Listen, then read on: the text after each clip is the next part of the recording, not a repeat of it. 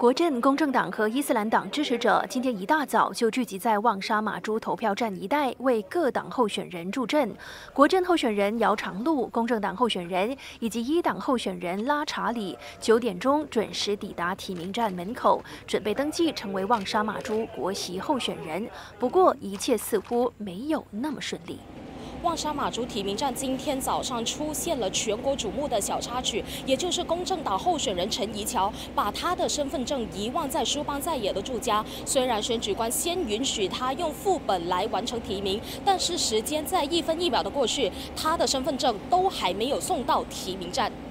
眼看就要快到十点钟了，公正党决定启动后备行动，马上派出一人以独立人士身份办理提名，以免公正党未战先败。但上天似乎还眷顾陈怡乔。啊，这个 returning officer 他同意接受我的 photo set IC，直到我的 IC 真本到达。那么过后也拿到了那个真本的 IC。几点拿到？几点拿到？呃，应该是十点左右了，十点了。十点差不多十点零。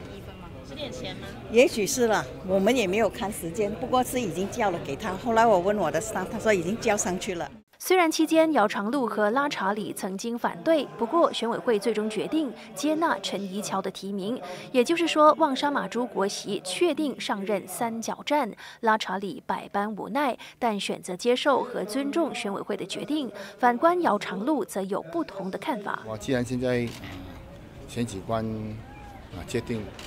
可以竞选，我们就交给我的法律机器处。好，就是你们之后会会提出上诉吗？我们交给法律机处。姚长路透露，选举条例阐明，候选人必须以身份证正本来办理提名，否则不符合资格。但是选举官却告知，身份证副本的人像是陈怡桥本人，所以选委会才会接纳提名。因此，他决定保留上诉权利。林晓彤，吉隆坡报道。